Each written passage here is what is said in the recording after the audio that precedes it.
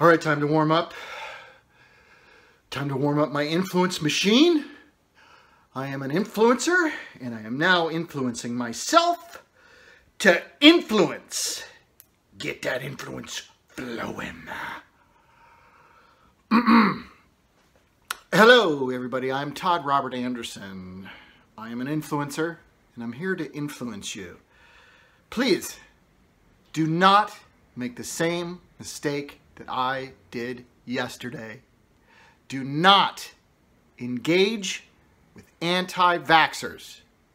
You will be more emotionally healthy and more physically healthy if you just become a shut in and yell at the wall.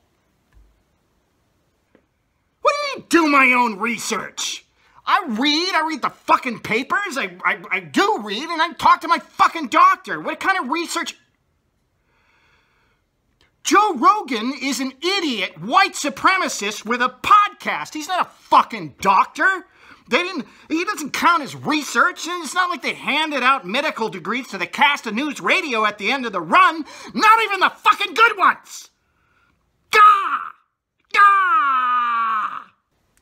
You've been influenced. This has been a Blursh production. Blur.